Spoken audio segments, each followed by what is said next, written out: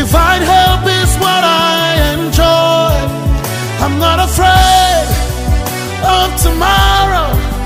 I have grace, great grace. Everywhere that I go, everything that